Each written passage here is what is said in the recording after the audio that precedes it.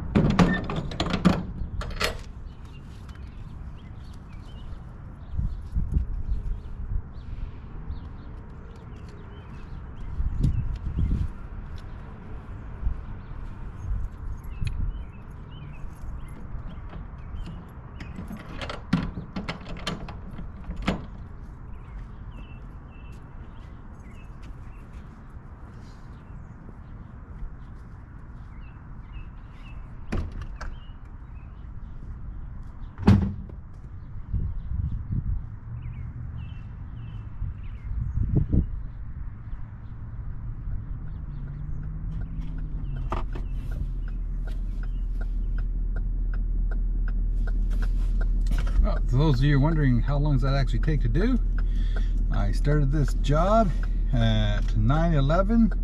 There's two properties the same size and I got done at 10.05. So that's not too bad. Anyways, I hope you guys enjoyed that little video there. It shows you what lawn rolling is all about, how it's done. Uh, one thing you guys should realize that you've got two types of lawn rollers out there and there's called Brouwer and Brutus. Okay, they are both 1,000 pounds. So if you see the ads out there and it says 12,000 pounds, 1,200 pounds, that is not correct. They are both 1,000 pounds. In fact, if you look on the specs, you'll notice that it's just under 900, I think it's around 900 pounds for the Brouwer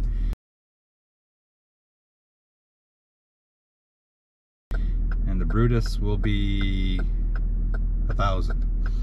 And I use the Brutus. Uh, now you do get 1200 pounds if the operator's on there. Now you got 1,200 pounds. And that is your half a ton roller because a half ton roller is a thousand pounds. So those of you who are wondering how much one of those rollers weigh, 1,000 pounds. Remember that. Take care, enjoy, thanks for watching.